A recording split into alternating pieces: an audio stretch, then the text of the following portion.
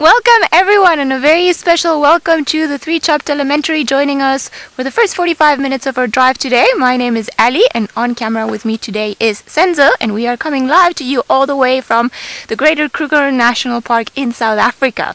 Now we were looking at some wildebeest as you saw earlier on which are also known as gnu but I think we can also start calling them ghosts because they have pretty much disappeared, vanished into the bush. We cannot see not even one of them anymore. Look at that. they have all gone away. I think they have actually crossed this little dip over here looking for something else to eat on the other side, but that just gives you an idea of how hard it is to sometimes find some of the animals around here. If you have any questions about the, um, the animals that we're looking, or not looking, but possibly looking to find, please feel free to send them through uh, via your teacher. Now, I am still a bit puzzled as to where all of these animals have gone. But I think maybe our best bet is to actually try and go around and see if maybe they come onto the other road because the direction where they were heading, there's another road cutting across. So I think we're going to try and reverse, suck the vehicle around, and then go see if maybe we can see them again because, um, yeah, they have turned into ghosts and we can't really see them anymore. Who would have thought? One of the biggest antelope that we get here in South Africa, pretty much vanished, eaten by all the bushes. Hmm. Alright, let's see if I can reverse here. Luckily our cars are quite small so it shouldn't be that hard to try and get onto the other side. No big trees behind me that I can crash into. Definitely don't want to do that. Just on the start of the drive. And off we go. Ooh, I see another animal all the way from here. And it's perhaps one of my favorite ones because it's very pretty. Ah, look at that exactly where the wildebeest were, now we have one of the most famous ones of all of Africa, the zebras. Very beautiful, and as you can see, they have all these beautiful black and white straps. But I'll tell you something the zebras that we get in this particular area, there are many different species, but the ones over here, you can tell they're the zebras from South Africa because of that faint line. I'm sure you can see it in its bottom that it's there's the black one, the white one, and there there's one that's almost gray. So that is the very much um, outstanding feature of the zebras we get around here. So just for a bit of a close-up of a zebra's bottom, and now we have two eating. So you see very beautiful creatures, and often we will find the gnus and the zebras together or hanging out roughly in the same area because they don't eat on the same things. They both eat grass, but one of them likes the grass is a little bit longer and the other one likes the grass and it's a little bit shorter. So it's almost like going to the cafeteria and everybody else eats something different so they don't really have to fight for what they eat. Although they are following the same direction that the wildebeest were earlier on, so perhaps they're also going to become ghost zebras as they carry on moving. You see, look at that. It is amazing how as soon as they start moving behind some trees, and it's like perhaps the deer or some of the other animals that you might have around home, as soon as they start moving and going behind the trees, it's very hard to see them. So you can see how all the stripes, even when they stand out so nicely out in the open, as soon as they go behind the bushes, it's almost like they disappear. Look at that. I'm sure, imagine if we were driving past here really quickly, we wouldn't be able to see them. You would just be like, oh, you know, it's just a bush down there. And now, thank you, zebra on the left, for posing so beautifully for us. So we get a very nice contrast between the one that's hiding and the one that is not hiding. We can still see you clearly with all those beautiful stripes of yours. Very, very similar to a horse, you may say. But this one's have just got a bit more of a mood, so they're not perhaps as friendly as some of the horses, and they're very well known for kicking and biting. So probably not the best pet to have around, although I'm sure many people have tried. They are, however, one of my favorite ones around because they're so pretty. Look at those stripes. Now, one of the most interesting things about the zebra is that you see, for us, all of the stripes look pretty much the same. And you think like, oh, you know, they've all got vertical stripes. But actually, if you start paying attention, and hopefully we will see more than one zebra together again, all of their stripes are different. There are no two zebras that look the same. So it's very easy to, if you just look at the spot, to distinguish one zebra from the other. And you'll be able to tell, well, oh, this is zebra number one, and this is zebra number two. Beautiful. Very beautiful zebras. They are feeding peacefully all the way around here, but I think just because they are heading into an area that is a bit difficult to follow because we can't really follow them amongst the bushes. We are going to carry on on our afternoon bumble and see what else we can we can try and find. Hopefully many more things because the weather should be good enough. And I'm going to send you across to my friend Jamie all the way in the Masai Mara in Kenya and welcome to the Sunset Safari.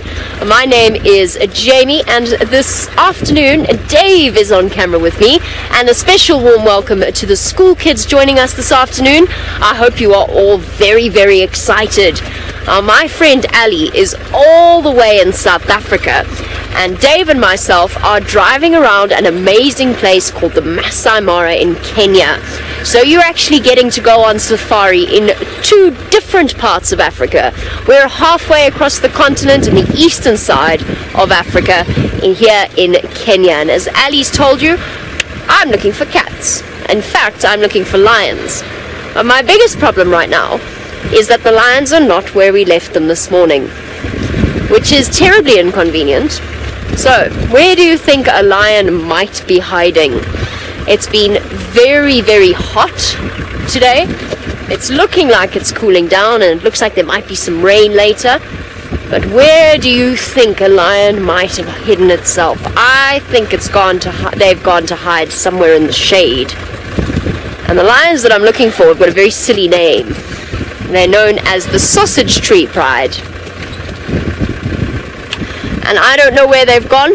I'm hoping that they've gone somewhere easy to find. Maybe they're just really embarrassed about their name and they've gone to hide away. I think I'm going to go down that road. So while I go and search under every tree to see if I can find some lions for you, let's go back to South Africa so that Ali can give you some more fascinating information.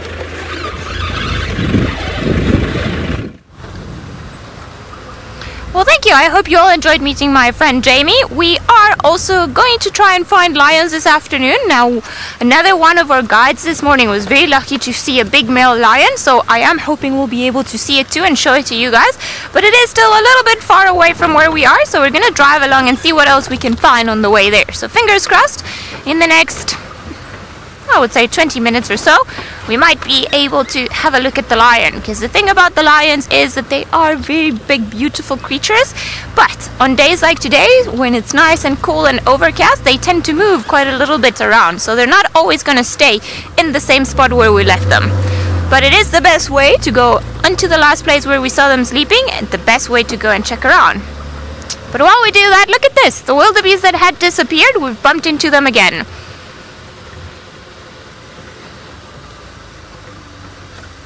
Where are you going? So, question from the elementary school. You're wondering if the zebras use their stripes to hide away from predators like the lions. Yes, yes they do. It's one of the main reasons why they have lions, although there is a whole very big debate amongst all of the people that study zebra as to why why do the zebras have stripes because it's such a beautiful striking animal that just stands out wherever you see it. But some of the consensus is like that they have the stripes so that they can hide from all of the potential predators because as you guys saw as soon as it goes behind the bushes all those stripes actually make it pretty much disappear. And the other thing that many people say or that is apparently the new thing that everyone believes is that actually the stripes prevent certain types of flies from landing on the zebras because funny enough the flies don't like the stripes. So how's that? They've got their own natural insect repellent or fly repellent right, tattooed right on their skin which is fairly cool I would say. So they have pretty much carried with them. They don't have to worry about going to the shop and getting insect repellent or anything like it. But yes the stripes also have a very interesting visual effect. For example, I don't know if you guys noticed or remember when the zebras were feeding close to each other. The one was here and the other one was here. And it's almost very hard to tell which one, where one starts and where the other one ends because they blend in together. So it is believed also that it helps to distract the predators because then the predator doesn't know really how far away one particular zebra is or if it's actually the one behind it or the one in front of it. So it just confuses them a little bit. So they've got all sorts of tricks up their sleeve to be able to survive out here in the African wild. A lot of the animals that we get in this particular area do just because they have to develop a few tricks against how smart and clever some of the predators are. As, as you can imagine, to try and survive and escape from a lion, you've got to be very smart, but also you need the help of certain um, features on your skin. Alright, I'm seeing something, but I think it's just a tree, tree stump in the distance. Ooh, no, it's a warthog. Let's see if we can show you what the warthog looks like. And the warthog is, if you've seen The Lion King, it's Pumbaa. Now, Pumbaa is hiding there to the left. Ooh, alright. There we go, running away. Woo! Two, three, four. Hello, little ones! so that was a mom and its three young ones running away, three little piglets. And they've carried on running. I can't see them anymore. Let's just keep an eye out for one second, see if maybe they are around. Nope, I think they've carried on running. Oh, there they are, well spotted. Very, very well spotted. Now, if you guys have any questions about the real life Pumbaa, or the warthog, as we normally call them down here, please feel free. And maybe I should learn how to talk first. feel free to send them through. You can ask your teacher to send us your questions, and we'll be more than happy to answer them. Look at those three little ones running with their tails up. And it is funny because their tails are normally down, but when they start running, then that's when the tails go up, almost like a flag. You are hiding very well. So you see, in this case, for example, the little warthogs, they don't have any stripes like the zebras do, but because they are all gray and similar to the colors of their environment, then it's very hard to actually spot them. So you see they've also gone behind the tree, so everybody hides behind the trees over here or amongst the thorny bushes, and pretty much you become invisible and it's very hard to see you. Which is pretty much what they've done. Very clever of them, although we wouldn't hunt them or eat them, so they're safe from us. Now let's carry on. Seems like this has been a lucky road so far. Some zebras around here, some wildebeest, some warthogs.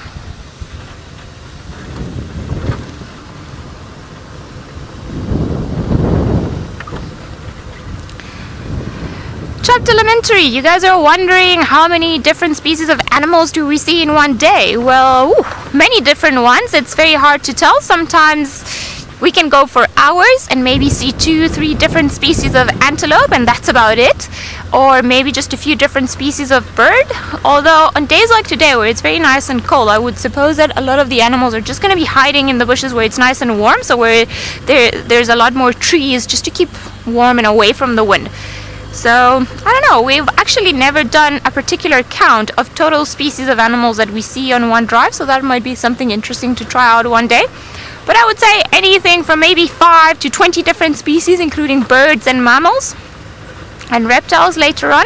And then as we go and start doing our bushwalks, what is that we, instead of taking a car and going on safari with the car, then we do it on foot and then we focus a lot more on the little things and the insects. And now that we've had some of the rain starting very likely all those creepy crawlies are going to start coming out which is fantastic news for us because then we can start walking and finding a few more things than what we've been used to. So if we count all the insects in i don't know maybe if we're very optimistic maybe one day we can get to a hundred different species it would be very very nice. Because often also you start seeing them and you can't oh there's impala here there's wildebeest and because you see them a few times and you stop actually counting you get distracted. Which is probably not the best thing to do.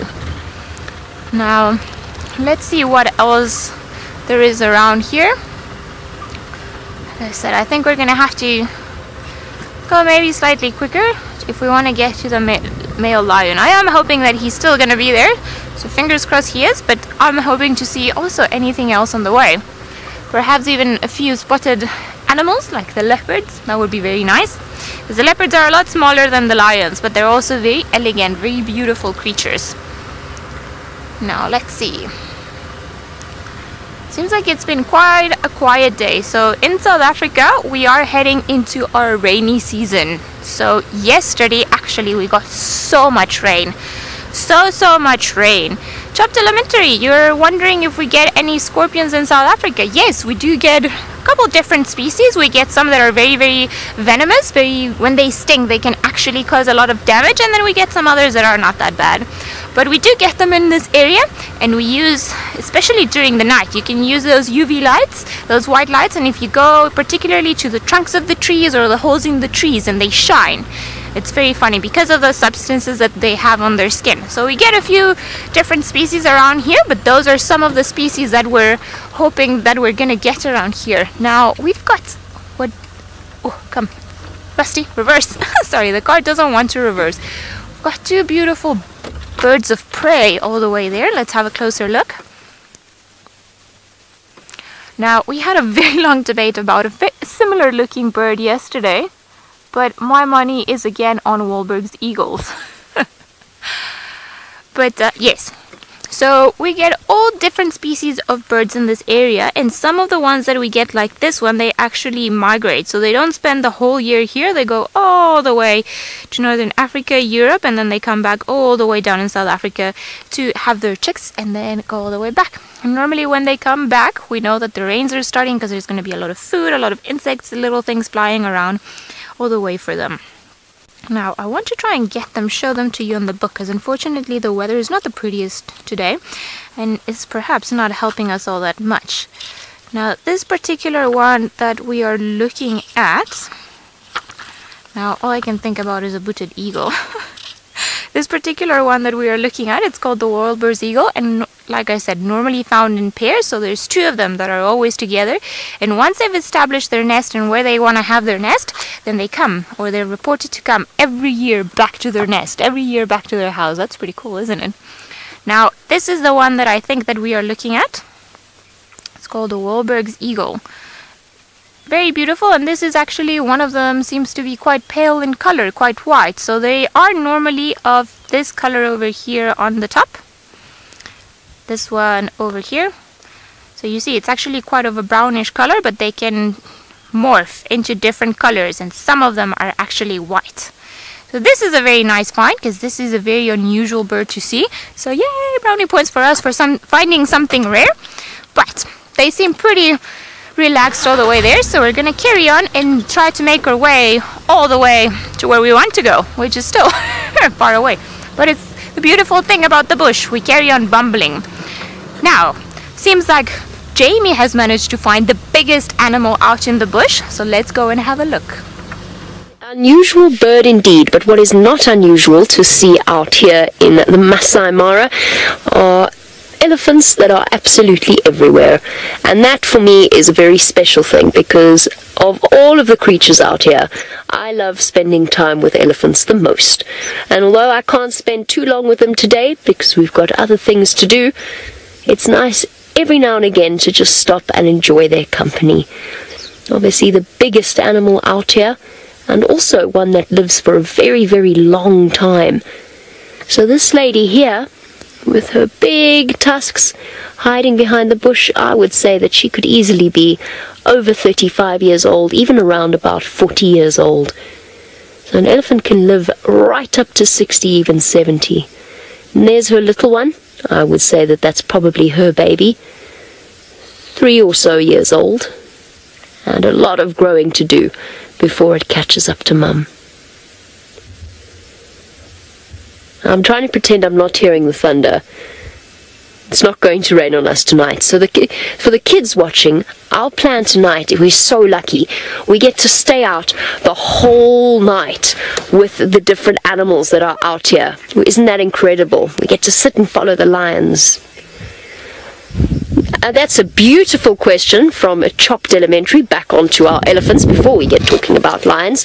Now, Chopped Elementary, and the kids watching, you want to know why do elephants have such big ears? Well, here's the thing about elephants. Obviously, they're very, very big, and because they're very, very big animals, they will get very, very hot in the sun, especially because they're dark colored and they're outside all day in the baking hot sun, and it gets very hot here. So the reason that they have those big ears is it's kind of like a built-in air conditioning unit. You know how your body sweats when you get too hot? You get all sweaty and then the sweat evaporates off your skin and it helps to cool you down. This is the way that elephants cool themselves down. So in those ears are blood vessels, lots and lots of blood vessels. If you look at the if you look at your hand and you see all of the sort of the blue veins and the capillaries running through, so an elephant has a network of blood vessels in there and the blood flows through and the skin is quite thin. And then when they flap their ears like that, it makes the wind pass over the blood vessels and it cools the blood down. And then the blood goes to the rest of their bodies. So that's the way that elephants cool themselves down. I don't know how many of you perhaps have dogs at home. Do you have dogs at home? You've seen them when it gets really hot, they start to pant and that's the similar idea. It's basically bringing air into their into their mouths and helping to cool the blood down, and that goes to the rest of the body. Even the babies have big, big ears. So when an elephant flaps its ears, it doesn't mean that it's angry, it just is trying to cool down. Oh my goodness, the kids are they're really thinking hard about these animals because Chopped Elementary has seen all of the mud that's coating the elephants and they're wondering why do elephants use mud like that? And the reason is you spot on it is like a type of sunscreen, but it's for something else as well. So elephants really like to bathe themselves in mud, and that mud helps to keep them cool because it stays wet. And then similar to, to what we were talking about about when you're sweaty. The air blows over the wet mud and it helps to cool them down. Plus, as you said, it acts as a sunscreen, so it protects their skin from the harsh, harsh rays of the sun. So I wouldn't suggest that you try it. Maybe maybe don't cover yourselves in mud. Sunscreen will work just as well. But obviously the elephants can't run down to the shop and buy sunscreen, so the mud helps to protect them. And then there's another reason they do it. So there are lots of small bugs and parasites out here, and things called ticks, and they like to sit on the elephant's skin. Well, the elephants don't have a finger and a thumb to pull the ticks off, or the other types of parasites, so by coating themselves in mud, it dries and it helps to get rid of them. And to be quite honest, I think Ellies just like to play in mud. It's time for me to move on from my Ellies and go off in search of some lions, and it sounds like that is Ellie's, Ellie's plan as well.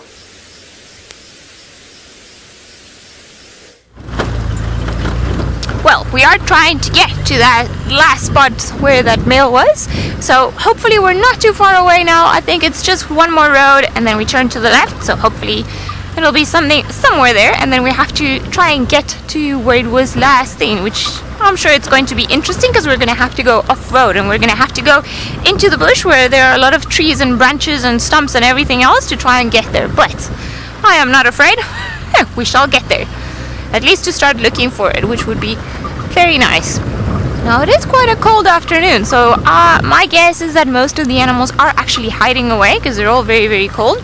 Just like us, I am wearing about three different jerseys, so it's very cold today and it feels maybe like it's going to start raining a little bit later on. But that is actually wonderful news for us because in South Africa we have six months roughly every year where it doesn't rain. And we're just starting to come out of that period where it doesn't rain starting to get into the period uh, that we call summer which is actually the rainy season so hopefully we'll get some rain because everything around us and I'm sure you guys can notice as we start driving around you see all the grass all of this is very very dry very yellow in color. So when we have a nice amount of rain uh, then everything turns green and it's beautiful and so many different colors of green and tunes and hues of, of green. It's very pretty and of course a lot of flowers and all the trees have leaves because now everything's looking pretty much half dead I should say because there are no flowers or leaves or anything on it. But I am hoping that's going to change in the next little while. And as we were saying later on we're going to be able to start seeing also a lot of creepy crawlies like the scorpions and the dung beetles. They are one of my favorite ones out in the summertime. And the dung beetles if you're wondering are those tiny little beetles that roll balls of dung and that is the gift to their bride and then that's where that's what they eat and that is where they lay their eggs. So that's actually the house for their young ones. Sorry Lou I believe there was a question but I couldn't hear you properly. Can you just say it again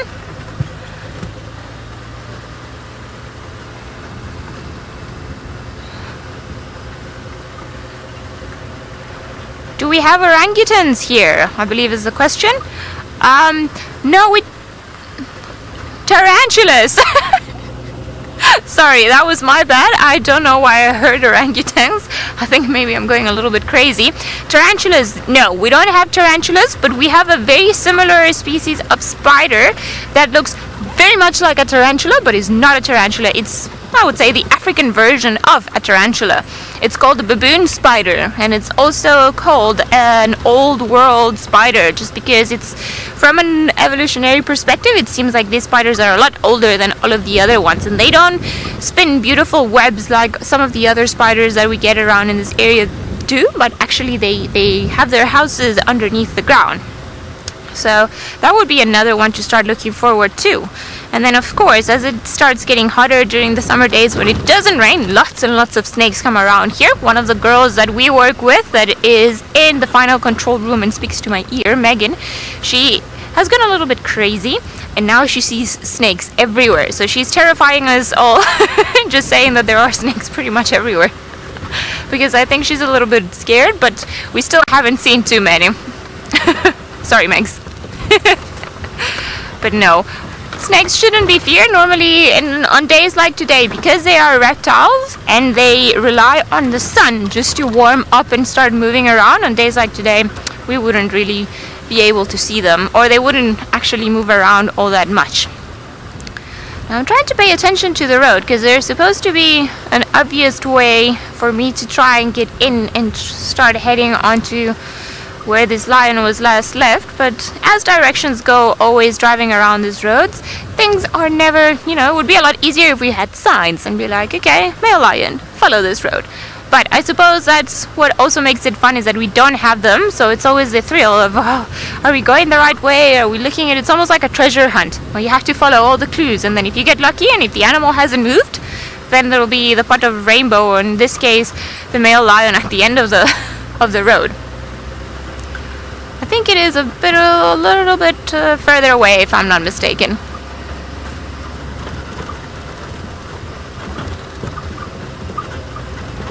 Mrs. Violet, you're wondering if the lions have ever gotten too close to the safari guides.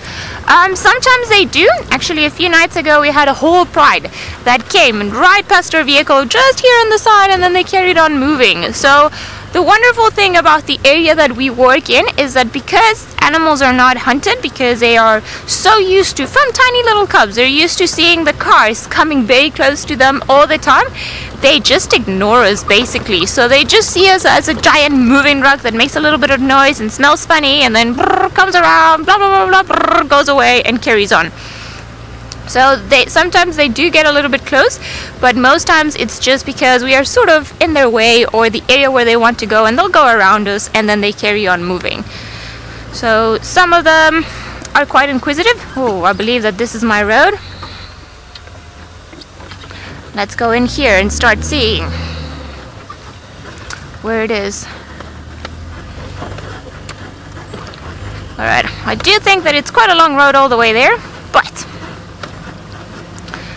we are getting closer to the last position of this lion. Hopefully it hasn't moved because on days like today, although lions tend to sleep about 16, 18 hours every day, on days like today, sometimes they move a little bit more. So let's hope that he was very tired this morning because I believe he went to sleep very late in the morning. And hopefully he'll still be there, but we're gonna keep our eyes open just in case. Just in case there's something around here, he's moved or gone somewhere else. Interesting. Now, the one male lion that we're going to see or we're trying to find again this afternoon to show to you guys, he is actually part of a group of four lions. So it's four big males together with their beautiful manes and they are together with a few different prides of females. Now, the females don't get along with one another and they all stay in their separate territories, but the males, they go and visit them every now and again. And they're not always together, the boys, and in this case, I think it's just the one that got away. Because if I am not mistaken, some of the reports that we got from some of the reserves nearby was that the lions actually fought with some other unknown lions that we get into this area because you see our reserve in the area where we are it's actually it's got no fences with the national park, with Kruger National Park. So every now and again, you get uh, stranger, strangers and animals that are not generally born in this area that come along and then just cause a bit of chaos start moving around but that's what makes it so interesting because it's a proper um, natural environment and we get to see everything that happens and it's almost like watching a soap opera sometimes because you obviously because we see them all the time you get to or well maybe not all the time but it's almost like a like a soap opera Alexandra your name's just like mine you want to know why do male lions have manes? Well, there are a couple of theories about it. One of the theories is that they have manes because when male lions fight and they hurt each other, and imagine those big claws, you know, just grabbing you here and there, the mane protects their face, their ears, their throat, their nose, everything from any potential blow from an opponent. But also, I fell in a hole but also it's believed that they have manes so that they can differentiate each other from a distance. So if a female sees a lion all the way far away, she will know it's a male instead of a female. This way. Sorry, Senzo was just directing me because he was here today. This side. Okay. Let's see. Hopefully it'll be some... Oh, I see the two track now. Alright. Gotta pay a little bit of attention now to the road to try and get, I think it would have maybe been easier to go in that side, but that's fine because good old Rusty will get us there if it doesn't fall too badly in this hole. Alright, let's see.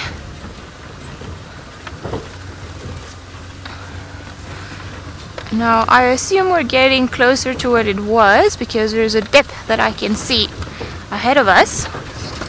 So if he is still around here, we should be able to find him soon enough, I hope. Ah, uh, there's the head. Hello, big boy. Now, how are we going to play this around? Which way, Senzo? Should we go straight and then... Okay, sorry guys, I'm just talking to Senzo to try and find out how we're gonna park. That's gonna make it easier for everyone to have a look at this beautiful male lion that's right next to us. I think it's probably the way. Hopefully this won't give us a flat tire. Is that good or do I need to go a little bit backwards for you? A little bit back? Okay, sorry guys, we're gonna have a look in just a few moments just want to make sure that we get the best possible view for the camera. Because obviously we all really want to see this male lion. There he is. Uh, almost. Hello, boy. How amazing is that? Now, this is a real king of the jungle, as they say, although we are not in the jungle. Very beautiful. And you see, we are actually quite close, going back to Mrs. Violet question from earlier on. We are pretty close to the lion, but you see, he's carried on doing whatever it is that he was doing before we got here. And that is exactly what we want all animals to do when we come and view them. We want them to carry on and pretty much ignore us as much as possible because we are just observers. We just want to see what they do, find out what they get up to, learn everything we can about them without ever bothering them. Think somebody's going through a bit of grooming and maybe an injury on his paw over there. Seems like he was in a fight actually. It doesn't seem like anything too bad. But it seems like somebody bit him on one of his back legs.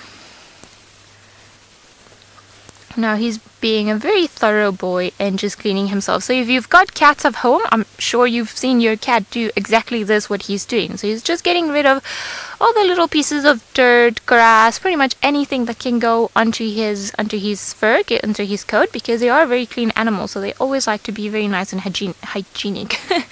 Even when they um, after they've eaten a lot and you can see all their faces are bloody and full of all sorts of disgusting things then when they're done eating they go they take a bath and they take much much care of making sure that they are squeaky clean.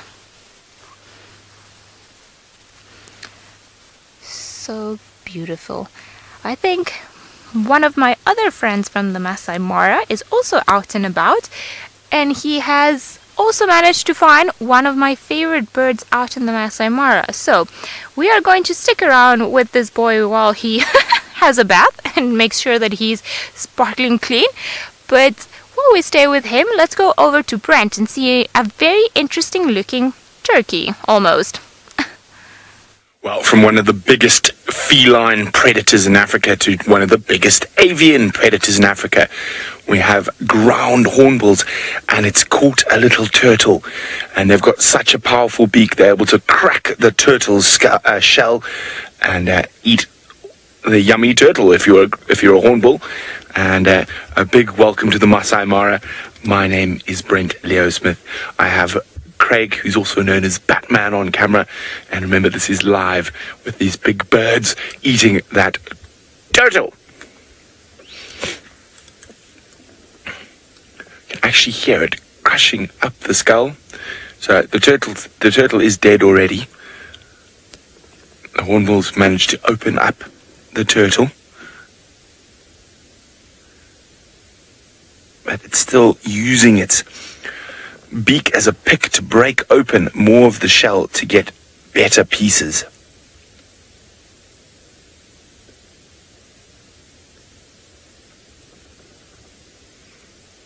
Poor little turtle.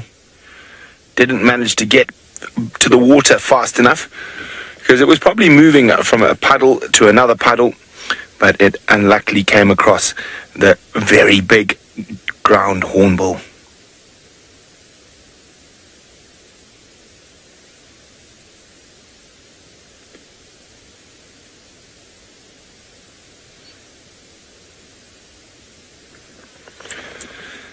So very few things are able to crack open the turtles and tortoises shell, and this is one of the few.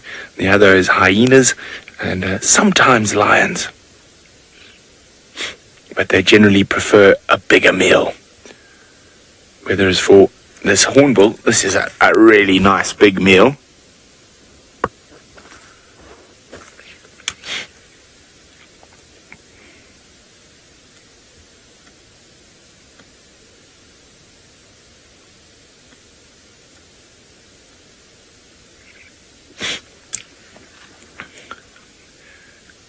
See how sharp their beaks are.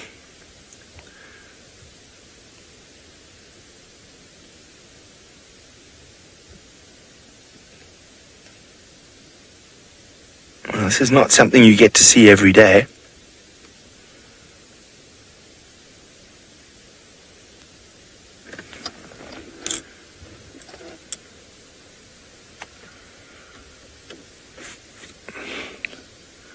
Now it's going to take quite a while for this hornbill to open up that turtle.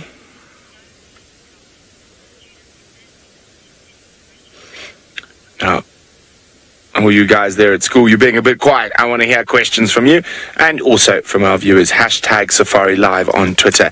Um, if you have any questions about what is happening with this glorious big ground hornbill crushing up uh, the poor little turtle. Now, it's not a tortoise, I can tell uh, from the shape of the shell. Uh, tortoise would have a much higher shell, a, a, sort of different shape. So this is one of the little aquatic turtles or terrapins that live in all the mud wallows and rivers and puddles in Africa.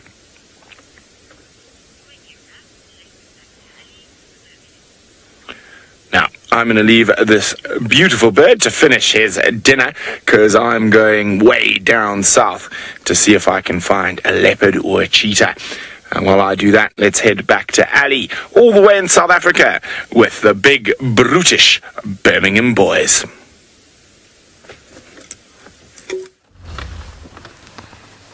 Well, we have managed to find a new spot, but I apologize because I need to get a hold of somebody on the radio that wants to come and also see the big male lion.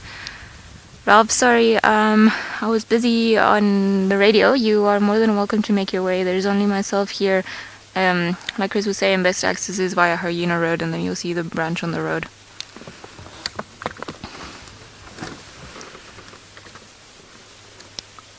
A firm come Hyena Road.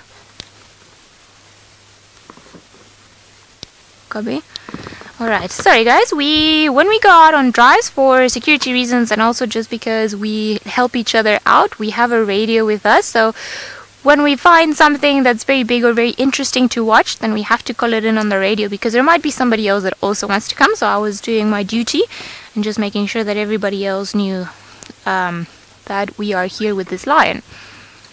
Although, luckily for us, not too many people want to come around because it seems like there are more lions in other places, so it means that yay for us, we get to spend a little bit more time with him.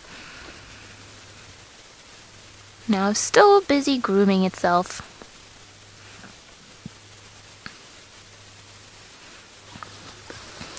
Virginia, you're wondering why do lions bathe themselves with their tongues? Well, they don't really like the water uh, and also here the water in Africa is very dangerous. There are hippos, there are crocodiles, all sorts of things that might want to hurt a lion. So like the domestic cats that also don't like taking a bath, they have learned that the best way to get clean is just use their tongue. And their tongue, if you have a pet at home, their tongue is very very rough so it's not nice and smooth like ours but it's actually got tiny little um, what can I call them tiny little particles that almost act like a cum. So whenever he's licking his skin, he's getting all the dirt out and all the extra hair and so on.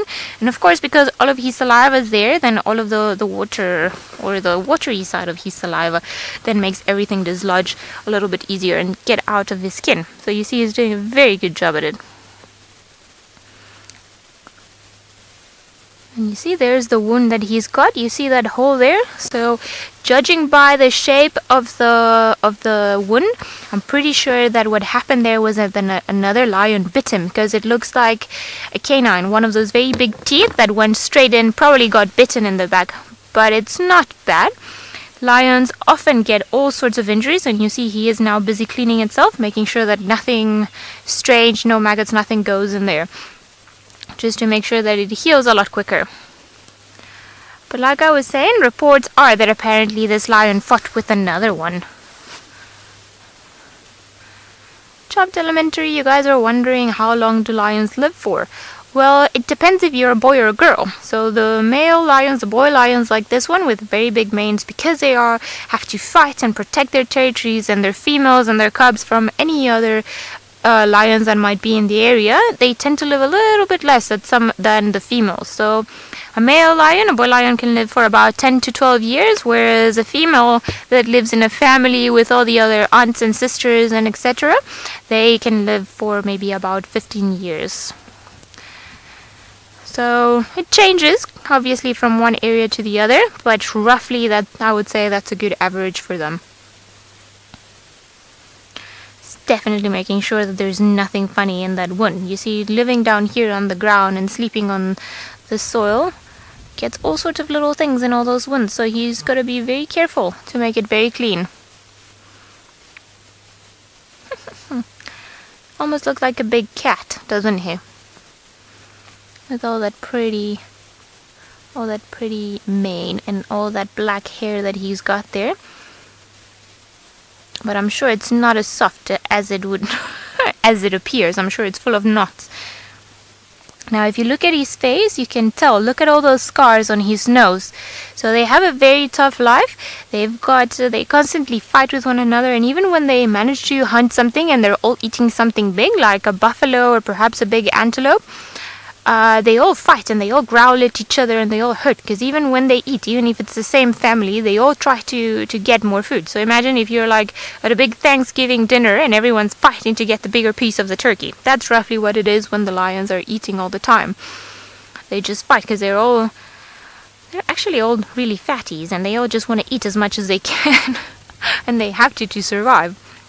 So some of the wounds they get from fighting with family members, some of the wounds they get them from fighting with females, and some of the wounds they get when hunting. Beautiful. Right, Chopped Elementary, it has been a pleasure having you guys with us on Drive this afternoon. Very happy we managed to see some lions and elephants and of course the ground hornbills, which is very, very cool for the afternoon. And we hope to see you again next time. But we hope that you enjoyed. Welcome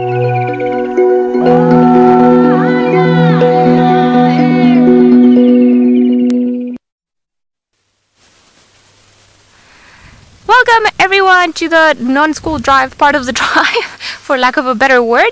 And we are here with, I think it's Tinyo, if I'm not mistaken. He was seen here this morning, and this is where Tristan left him off, and doesn't seem like he's moved too far, thankfully, for all of us, because the boundary is actually not too far away from where we are, so we are very happy that he is here because since I've arrived at Djuma, we've heard them roaring every night, so many times, just before drive starts, and by the time that you jump in the vehicle and start getting out, they have gone up somewhere else. Now he does have a bit of a wound on his back leg, but like I was saying earlier, I don't think it's anything I don't think it's anything too dramatic. I think I'm sure he'll be fine. And I was reading the update from I think it was in Koro today that apparently the other male lion actually had the worst um, side of it all. And unfortunately, um, the other male lion was actually found dead. So it seems like the Birmingham boys are here to stay, doing a very good job at defending his territory, his females, and everyone around. Now, updates on the radio are funny because apparently I think there are two of the Birmingham boys on a buffalo. Maybe I don't know if it's a buffalo, but they are on a kill somewhere on Torchwood. I want to say not too far from here, so I wonder if this one is actually at some point gonna go join them. Oh, there's a little bit of blood there. Perhaps you should. Do you have a little bit of blood on your lip now? That wasn't there before, was it? Maybe he's reopened his wound. Huh. I wonder what just happened. Maybe actually by cleaning his wound, he's actually made it a little bit worse because it seems like it's all around there. But like I said, I don't think it's anything to be too worried about. Maybe if we can just, well, just hang around a little bit more, see if maybe he's got something on his lips. Yeah, he's got some blood there that I'm pretty sure wasn't there before. Oh, thank you for opening that up. Now, if you can just move your head a little bit so we can have a look, that would be very kind of you. Oh, the gash there on the other leg. Okay. Hadn't seen that one before. Well, that one looks a little bit more serious than the other one, but I also still don't think that this is too bad, judging by this angle. But we'll see. Oh boy, now you've put a lot more blood. Okay, perhaps he does have a bigger injury, because now that you've raised your head like that, you've put a lot more blood on your head. he does look like a fierce warrior now, doesn't he? Sure. I feel a little bit sorry for you now with all this blood, but I would like it if you stood up so that we could assess your wounds. Hello, boy. And uh, yes, like I was saying earlier, some more of the updates on the radio is that the Nkuhumas are on Buffelshoek after a little bit of an absence, so hopefully they'll come uh, to us tomorrow. Oh, sorry, somebody's calling Taylor, but they actually mean Ali. Standing by.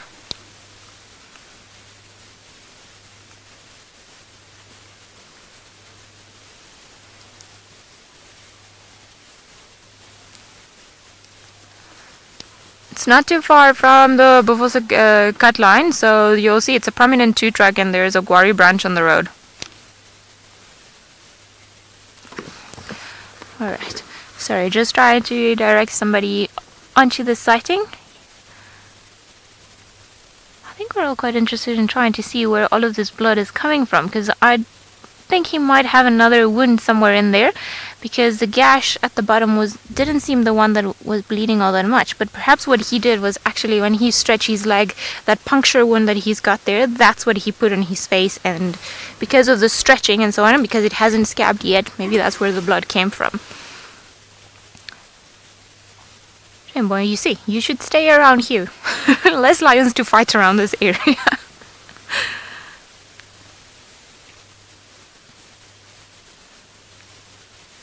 Elizabeth, you're wondering if we ever intervene when animals are hurt. Well, different parks and reserves have different policies, but in the Sabi Sand, if it's something that's caused by another animal, if it's a natural um, issue, then we do not intervene. The reserve doesn't do anything rather than let the nature take its own course. So, for example, for an injury like this, we would not intervene because sometimes it's also putting the animal under a lot of stress because a lot of the times you have to dart them and then re-dart them and they become very skittish and they don't like the vehicles. And also, I, if I've learned something by watching, particularly lions in the last few years, is that they're very resilient animals. And sometimes we get really scared because there's a lot of blood and we're really worried, but they just have a way of pulling through. They're very, actually very very strong creatures, and I think that's probably where the name the King of the Jungle really does apply to them. So unless it's a it's a human caused problem, like for example a snare around somebody's foot or neck or ankle, you you are looking like a proper warrior now. Look at that. Then no, we do not intervene. This is a natural environment, and that's part of the beauty and the horrible part of it. We let uh, nature take its course, and we let animals sort themselves out. For a moment there, I thought he was biting his own tail. oh, he is pulling his tail.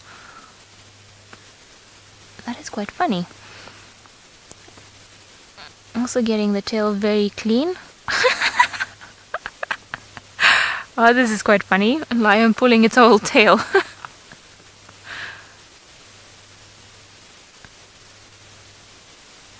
Alrighty. Very beautiful. So he has been cleaning himself quite a bit, so I wonder if perhaps he didn't move around and that's why there's a lot of more blood. But if you've got any questions, we or any comments, we actually love hearing from everyone who's watching. So if you want to send us a tweet using the hashtag Safari Live or on the YouTube channel, we are more than happy to hear from you and address any possible questions that you may have like I said, we've been sitting with this male lion, which has been quite fantastic in the sense that his head is up and he's moving a little bit around and he's allowing us to see what's going on. Because often lions will sleep throughout the day, and if he were lying on the side, it would be quite difficult to actually see any of these wounds. And of course, we don't want to get that close because then we would bother it, and likely he would go away and start moving. But I think the fact that he's got his head up and that he's um, cleaning and grooming himself so thoroughly could be that maybe he wants to move.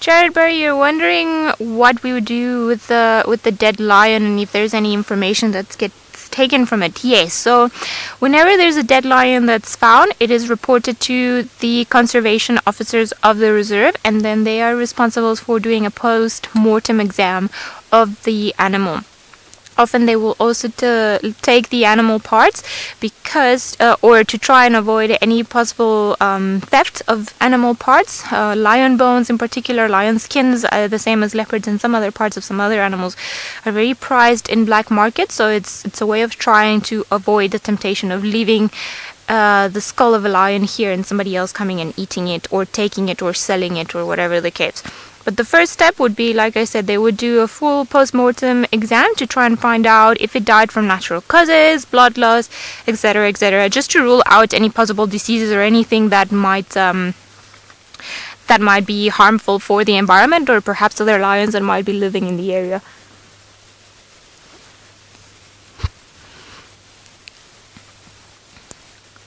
Are you going to get up, boy? I think you might just get up. The weather is Good.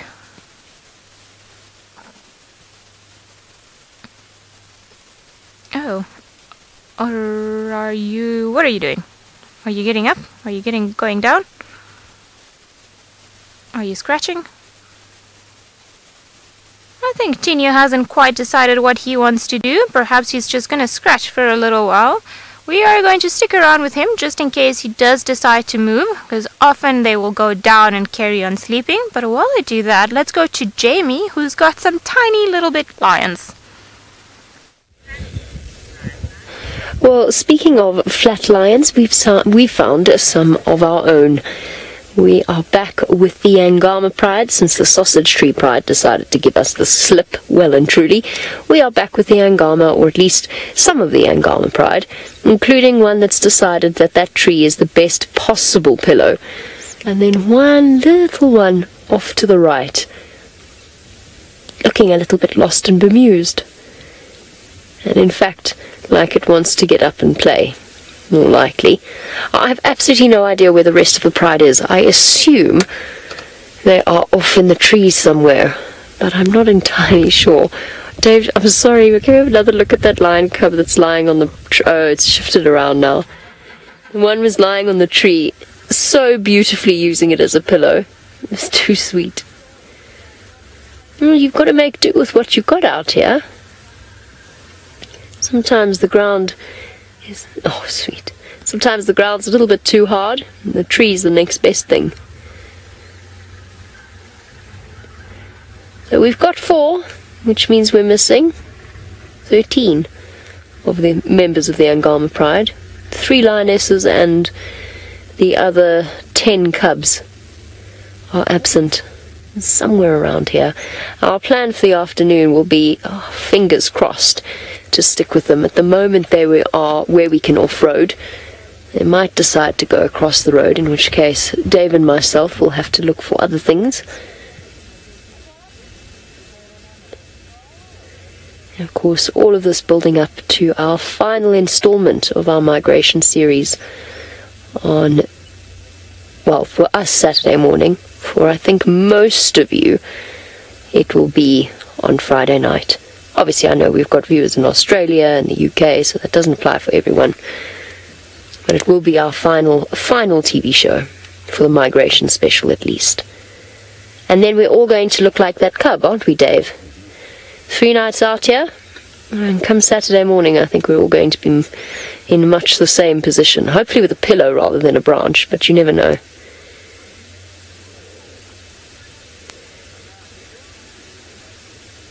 Don't forget, because this is a live safari that you are on, to send through your comments or your questions on hashtag Safari Live on Twitter in much the same way that Catherine has done. Catherine, you say they are so cute. They are, aren't they?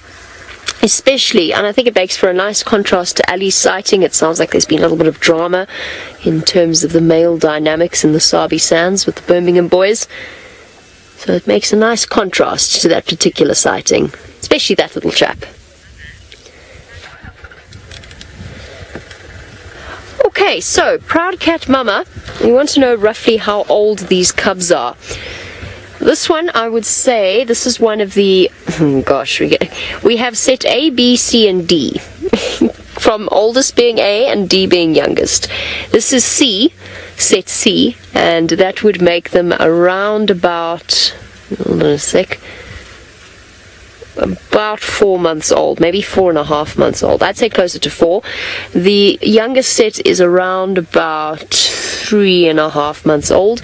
The older cubs, A and B, are between the ages of, I would say, around about six and a half months now, and must be close to nine. The oldest set. Let me think. They look. They were about six months old when we first when we first got here between five and six months old, and we've been here for one, two, three months. Yeah, so you're looking around about nine months old. As our lions snooze away, fortunately at peace with the world, Tinyo, of course, has not had a very peaceful night. Let's go and see how he's doing this afternoon.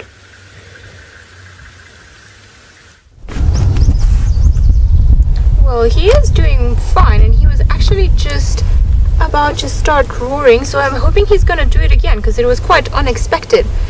But there I think he is trying to get hold of the other lions that might be not too far from from here because as far as I understand it some of them are in Torchwood some of them are around. So I'm sure some of them will be able to hear him and perhaps he's just trying to get hold of them. So I am hoping you're gonna start roaring again boy Oh, are you fighting off the usual flies around.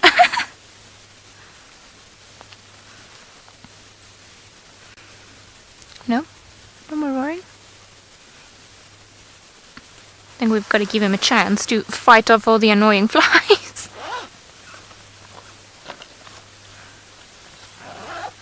now, I was asking Senzo, he was walking just fine this morning, so I don't think probably not too much to worry about because when he got up he was looking a little bit stiff. So I wonder if he was actually not um, he, if he's not just actually stiff from sleeping the whole day rather than actually hurt.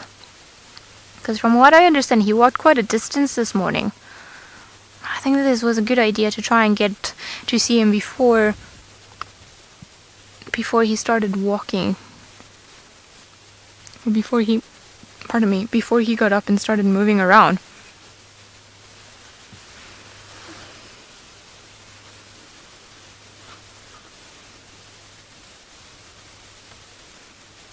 I didn't did. You're wondering if there are any diseases that affect lions psychologically, like distemper, where rabies affects lions. It's one of the diseases that affects lions quite a bit. Um, and then, well, there are all, I'm not too sure about it from a psychological perspective, but there are all sorts of other diseases that affect them. Sorry, guys, one of the guys on the radio is trying to get a hold of me, and he's been trying to get into the sighting, but I don't know how he missed us. So, I'm gonna switch on for you. So he is actually quite lost, and we saw him perfectly well, but him and all his guests missed us, so I'm just turning on the car so that he can hear us. But now I'm gonna turn it off because he's roaring.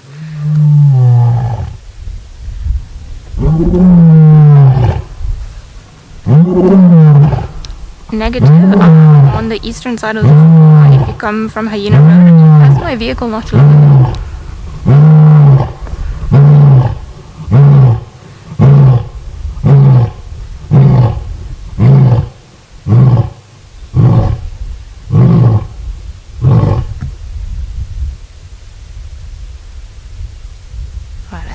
Than a vehicle and me talking is a lion roaring to try and get people here.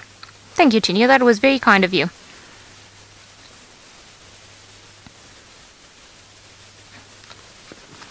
Ralph, did you get the Angala audio?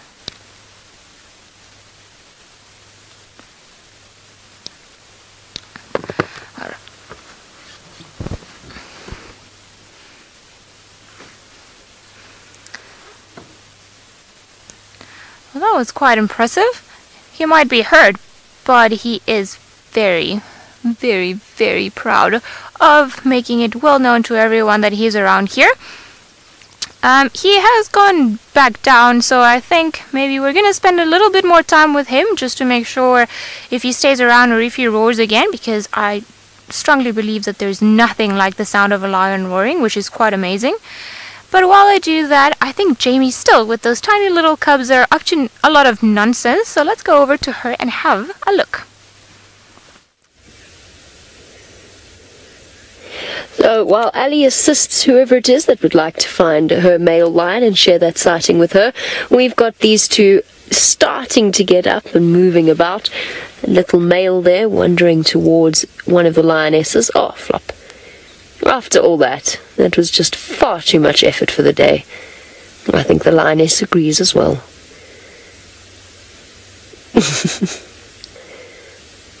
How innately cat-like is that?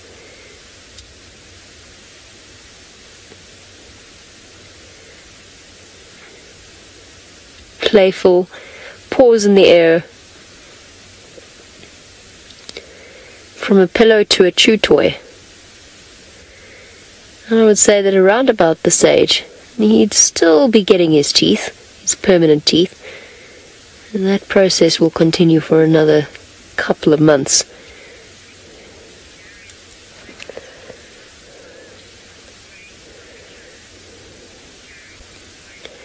And a warm welcome to Jared's buddy while we watch this one cub entertain himself for now with a branch. You want to know how far the cubs will stray from each other.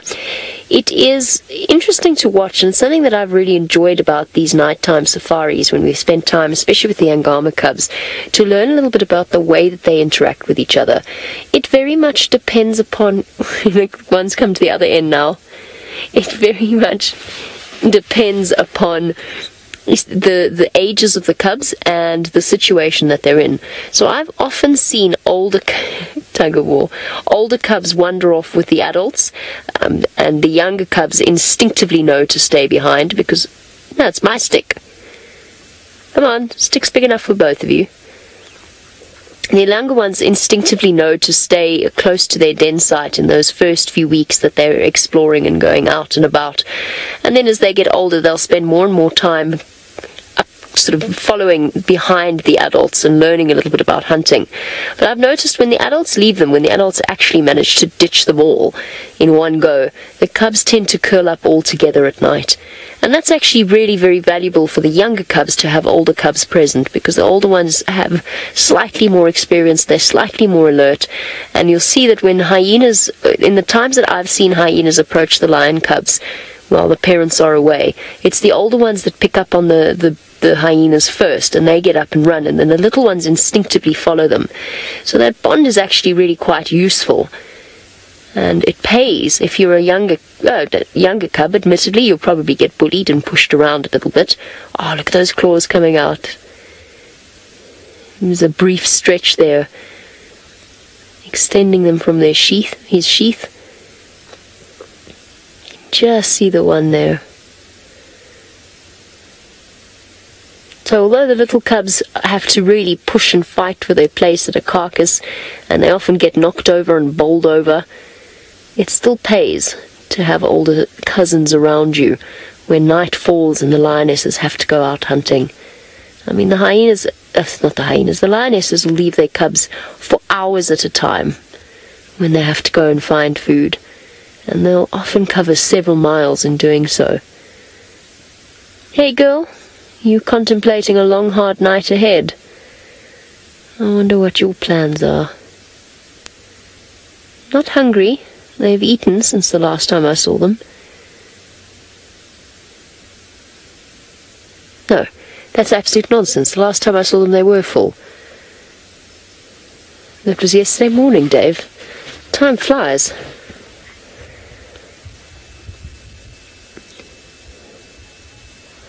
So while our lions content themselves in various poses, some peaceful, some playful, let's go across to Tinyo, who I think after his fight is giving himself a good clean.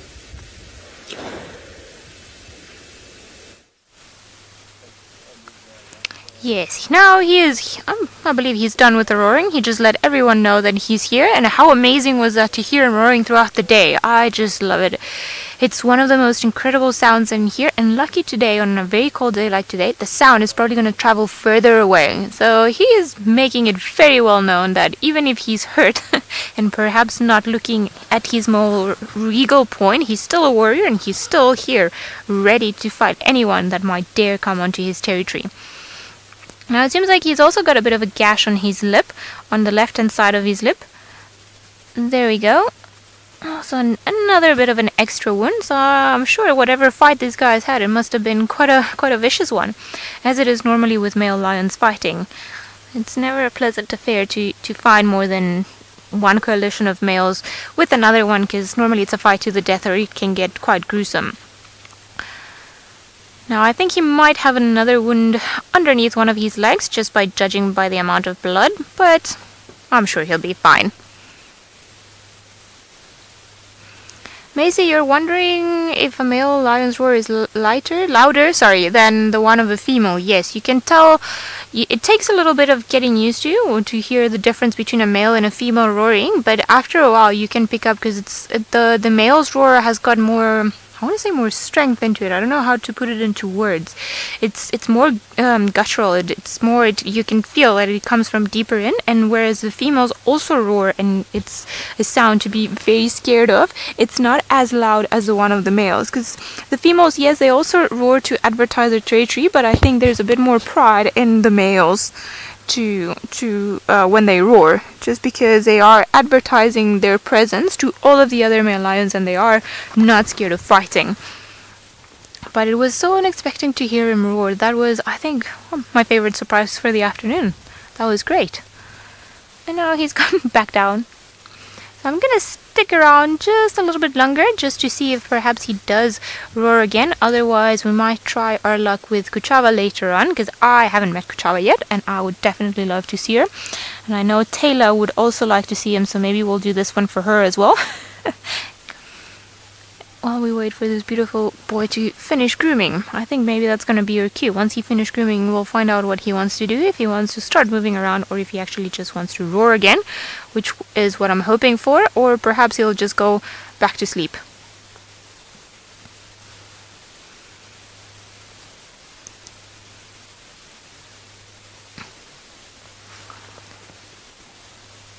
BG, you're wondering if a lion would roar even when it's injured. Um, yep, well, he is injured, and he... Uh, sorry, uh, BG, I think I got the question wrong. You're wondering if lions are afraid to fight. Is that correct, Lou? Sorry, um, you're breaking up a little bit, so I can't hear everything.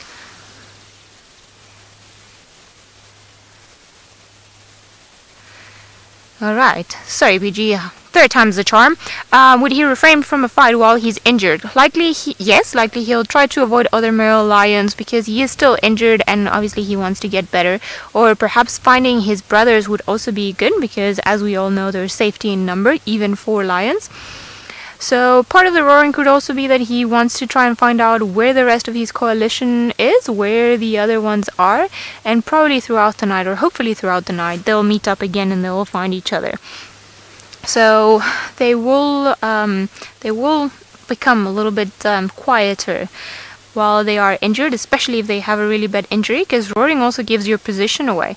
So if you are around and there are other younger, stronger male lions that want to try and push you away, sometimes they will just go straight onto where they heard that roar to provoke a fight. In this case, I think he knows what the outcome of that fight was, and it's that the other two eh, males that came from the Kruger side, I think, were, well, one of them died and the other one, I think, ran away. So he's also reasserting his stature and his dominance, and it's probably why he's not afraid to roar. Oh, hello, boy. So he is looking a little bit stiff. But that could also be from sleeping around the whole day. And you're still scratching.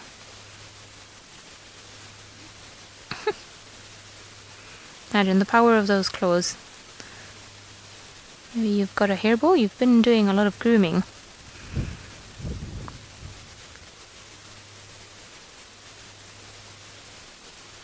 I am just trying to wishfully thank him to roar again just because it's such a wonderful sound.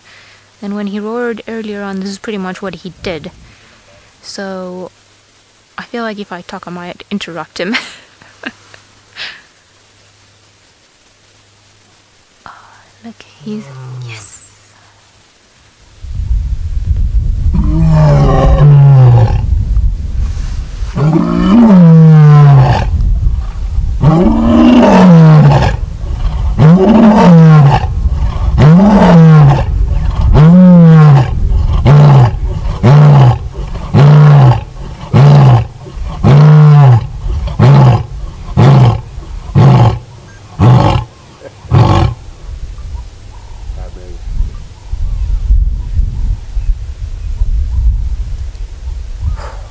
Well, that was amazing. Oof, that was that was really really good. And to have it roaring straight at us, I, there is no feeling like quite like it. Now he's he's walking just fine. Like I said, I do think judging by when he walks, just by the blood that's underneath, that he might have another wound somewhere there, and he's got a little bit of a limp. But I think it's nothing to be too concerned about. I think part of it is probably because it's a cold day and he's a little bit stiff. So I think maybe that's why he's walking that way. Now he's heading straight um, east in this direction. So if he carries on going along that side, he's going to hit the boundary and perhaps carry on and cross over to where the other ones are reported to be. So let's follow him around and see what he does. Here comes the Bundu bashing.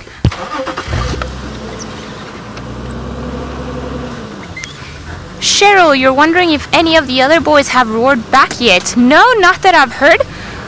I think he's... Two of them are probably going to be somewhat quiet because they've got a kill and I'm sure they don't want to share it. Hmm. I don't know which way I'm going to go around here. Um, but we haven't heard them yet.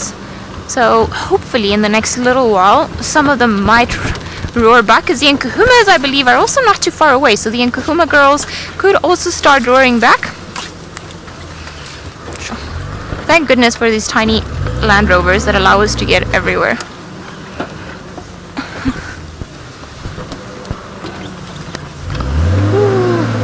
Alright.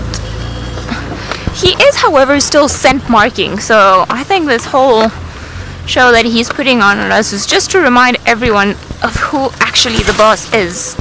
Now, I'm trying to find the most open way out. Hopefully I think this way actually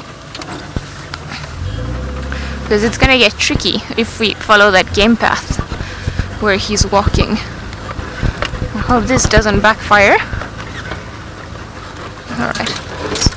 Seems like this was actually an old two-track. Woohoo!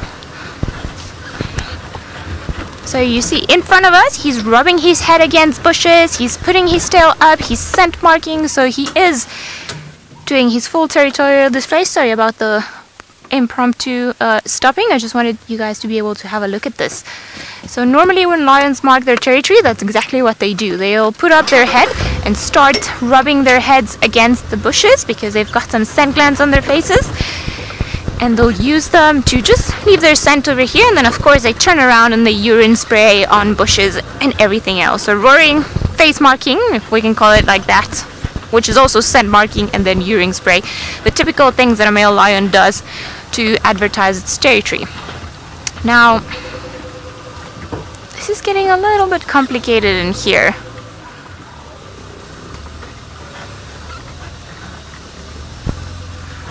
Ooh. Bug Marker, you say that we are the luckiest people in the world to be here with these magnificent creatures. I fully agree with you. I think I'm grateful every day. Whoo, there's a big hole. Well, first of all, for not dying into a hole, but also to be able to spend as much time as we do with these animals and just hearing them roar live and being able to share it with everyone. It's it's a it's very much an undescribable feeling. Now, um, Ralph, if you go around, I can't carry on forward. Yeah, I think we're gonna have to find another way in. Although this one doesn't seem too bad. Hmm. What do you say, Senzo? Should we risk it? Alright, let's let's try this out. Alright. We shall carry on trying to battle the bushes and the do bashing and see if perhaps we can get another view of this boy because he's working in quite a complicated spot. Whew. I'm hoping we're not gonna die. Well done, Rusty. Now, all I've got to do is try and find out how to get through here, but while I figure this out in this gigantic puzzle, let's go over to Jamie and the beautiful, beautiful Angamas. Not what we want at all for this afternoon safari. I'm hoping my lions don't decide to, in Ale's words, book out and disappear. I'm deeply concerned by the fact that there's only four of them here. Making me wonder where the rest are. My imagination's providing me with plenty of options. Most of them are going to be tricky. Hey, Sleepy Cubs. Obviously, for our new viewers, you'll see that there's another vehicle in the sighting with us driving past. That's because people can come and visit this park.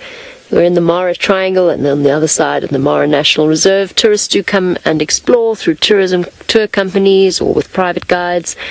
Uh, or with staying with the lodges. And of course, it provides a very valuable income that then goes towards conserving these creatures and keeping this land as it was intended to be, as a refuge and a sanctuary for the wild animals here. And of course, the more people are out, the more eyes to spot things, to help us spot things. This lioness looks thoroughly unimpressed with life. It's just because she's nice and relaxed. But earlier on, the young, youngest cub that's here tried to suckle from her, and there was much growling and grunting and groaning from her side. She wasn't terribly impressed. Where's the rest of your family, girl? It was really quite interesting the first few weeks that I spent pretty much with the Angama Pride all the time. Almost every night we were with the Angama Pride. And what was interesting there was the way that one of them always would, would disappear around the early evening and then come back and the rest of them would follow her. It was almost, and I don't, don't, please don't take this as an absolute. It almost felt like she'd gone ahead to scout and then they, the rest of them were following her. I don't think it's nearly as simple as that, but it seemed that way. Which actually kind of links in quite well with Paula's question, who's wondering will the Pride ever split up to patrol or to look for new territory? To look for new territory, All right, this is a bit of, a bit more complex. Let me try and explain it in a way that's quite simple. Most of the time, the lionesses are not looking to expand their territory. They do sort of patrol or scent mark, but only really as they're going along when they're looking for food. They don't have specific territorial routes that they walk to go walk along the boundaries. That's more a male lion thing, where male lions will actually go out on patrol and they will scrape their feet and scent mark. The prides don't really do that. They will scent mark, but it's it's more sort of as they go along. They do roar to mark their territory, but they're not really looking to defend its borders. Um, prides don't tend to come into conflict conflict as often as male lions do. Then, the situation where a lion might split away from the pride to look for new territory, it's or more territory. It's it, it, those sorts of situations occur when you get a male takeover. So in a situation where you've got a takeover with new males coming in, you know new males kill the cubs to bring the females back into estrus and to pass on their own genetics. What often happens then is, let's say there's a couple of females in the group and only one of them or two of them have very tiny cubs that are in serious danger sometimes what they'll do is they will flee with those cubs and the rest of the pride stays behind, starts to mate with the new males, gets accustomed to them, and the other female will try and flee with her young cubs to try and keep them safe. Most of the time it doesn't work, but every now and again it does, and you end up with breakaway prides. Sometimes in adjacent territories, sometimes quite far away from their original pride's territory. Depends how far they have to run.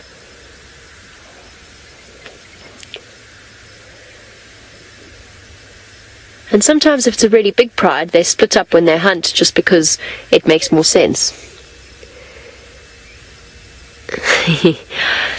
Proud cat mama, I always wonder about that, about how the lions communicate to the cubs to stay rather than to follow them. Because it's easy to see how they tell the cubs to follow them to a kill. And they'll go up and they'll give those very soft, low contact calls, and the cubs will come out going, ow. Well, that that's pretty simple to see, but how they tell them to stay, most of the time it's a signal that I would say is invisible to us as human beings, but I think that there's visual communication happening with the, with the lionesses. Sometimes what you will see, though, is with both with lions and with leopards, when they're trying to get their cubs just to stay in one place, and they just the cubs are just being naughty and following behind them. Sometimes they will turn around and give them a smack or a snarl. It does occasionally happen. But most of the time, I think the cubs also just instinctively know how to behave. Alright, quickly back across to Ale because Tinyo appears to be missioning out of Djuma.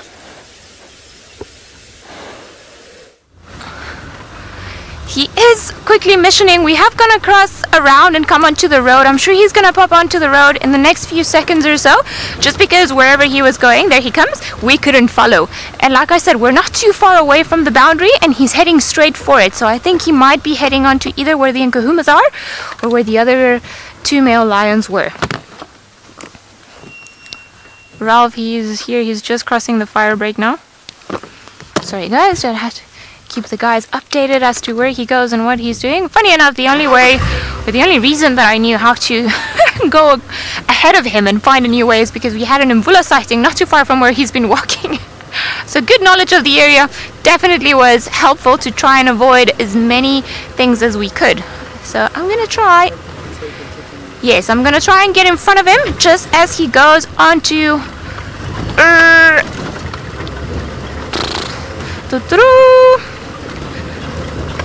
just so that we can have a look, one last look at him as he comes because he's definitely going to cross this road and then he's going to be lost to us at least because we won't be able to follow him any further.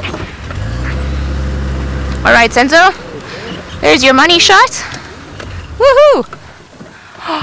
You are such a stunning boy aren't you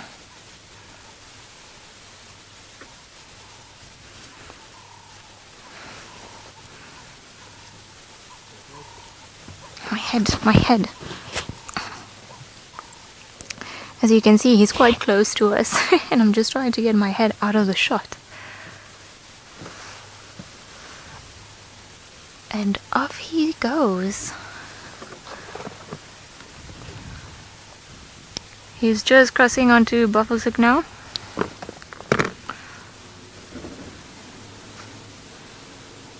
Beautiful. Now, I know this means nothing to the animals, but he's just crossed one of our boundaries. So unfortunately, where he's gone, oh my goodness, are you gonna sleep there? where he's gone, we cannot follow, or we cannot try and get a closer look of him. It's just gone static north of the Buffalo cut line. Three vehicles here. Alright, how was that? That was fairly amazing and I think maybe with that we should thank Tinyo for such a spectacular performance that he's put on today and very likely just move off so we can give other people a chance to have a better view because we, I think we've been very very lucky. I just don't want to carry on moving while everybody else moves. So we're gonna wait for some of the cars to stop moving and then we're gonna head off. But I think this was such a wonderful view of him. I'm definitely super happy that he also roared because that is probably the best thing that lions do is when they roar. Let me go.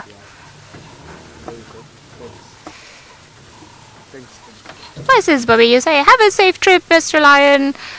I think maybe we should say now as well, have a nice news, because likely that's what he's gonna do carry on sleeping. Are you done now? Beautiful. Right guys, I think we should be very thankful of what we've just seen and I think the other males are further into Buffalo so I think it's our time to say goodbye to this beautiful Tinyo and perhaps carry on see if we can, or at least I can make a new acquaintance and meet the beautiful Kuchava. So we'll carry on see what else we can find along the way, but not a bad time to spend our afternoon, especially on a rainy day like today. I think it was very, very good.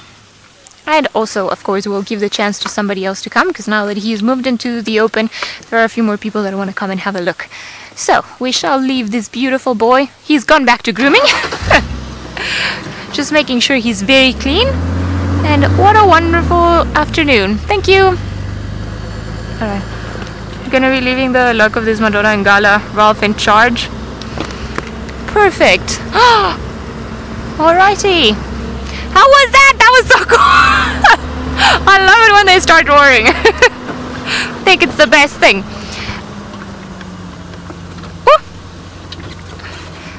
Alright. I managed to get out of low range, which I forgot to do, but it's very necessary when you go bashing uh, around the bush. So Kuchava, I believe, was seen somewhere around Chita today, and we are not too close to there, but we're slowly going to start making our way there. We've still got the opportunity to be surprised by pretty much anyone else. So we are going to slowly start making our way in that direction. And while I do that, I will send you across to Jamie, who's still enjoying the company of those beautiful lions. I hope that Ale finds Kuchava and will keep you entertained while she goes off in search of a spotted cat with cats that haven't yet lost their spots, especially the littlest one. And for our new viewers, young lions are spotted, especially tiny, tiny cubs. They have very spotty coats and it helps to keep them hidden and camouflaged while they're young. And then those spots fade with time as they grow older, but they never disappear completely. So we don't tend to think of lions being spotted, but they definitely do have spots. This is the laziest example of playful behavior I think we could possibly provide. Sleepy play. They're awake and restless, but not quite ready to be full of their normal boisterous energy. Just going to use each other's ears as chew toys. Seems like a comfortable thing.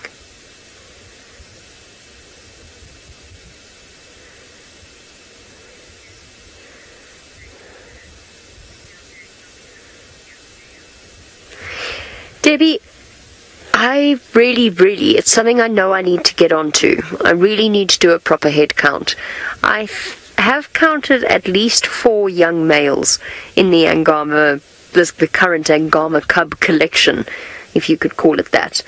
But I haven't got a proper accurate count. I don't know whether any of the other guides have, if they've stopped and been able to have a sighting where they can.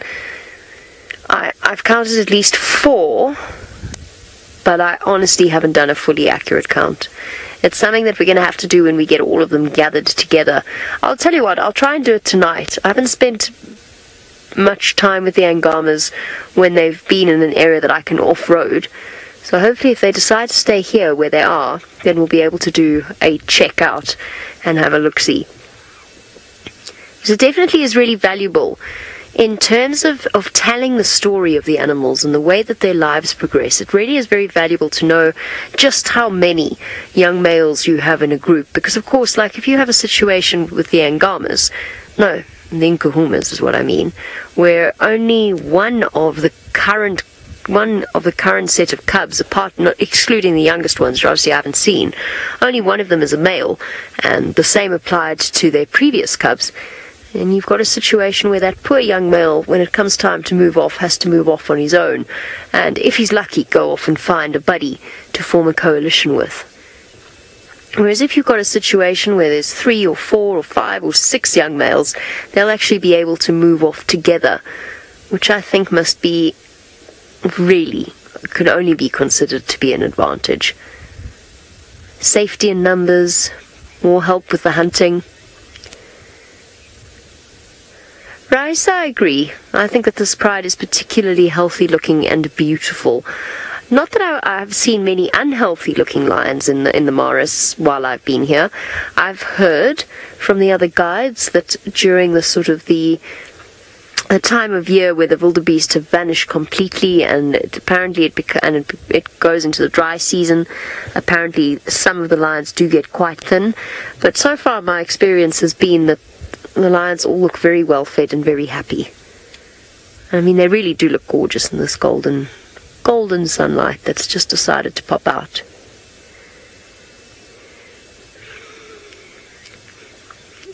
Nikki, if you look really closely at the cubs, obviously our lioness will never have a mane, but if you look really closely at cubs of around about six months old, you start to see just a faint fluffiness around the edges of their face. And then by a year, it's really quite clear that they are attempting to grow a mane. I, I always use this comparison, but it always feels that way. There you go. You can see he's got a little bit of a ridge of hair along his back of his neck and just slightly fluffy cheeks. I always feel as though young male lions look like um, look like they are attempting to grow, like teenage boys attempting to grow their first beard. And you know, you get the straggly, patchy bits. That's what young male lions always remind me of. I've got such a soft spot for them. Now they start, it grows most in the center and around the cheeks, and it's only really when they're about five or six that they that it fills out completely and properly. Between them they have a mohawk, which is quite endearing in its own way.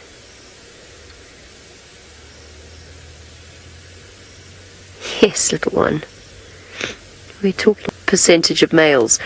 Of course, it's great if we compare it to the Nkuhumas. It's it's great that the Nkuhumas have lots of lionesses growing up to bolster their numbers. It sucks for the little male, but it's great for the pride itself. But it's nice to have a little a balance between the two sexes.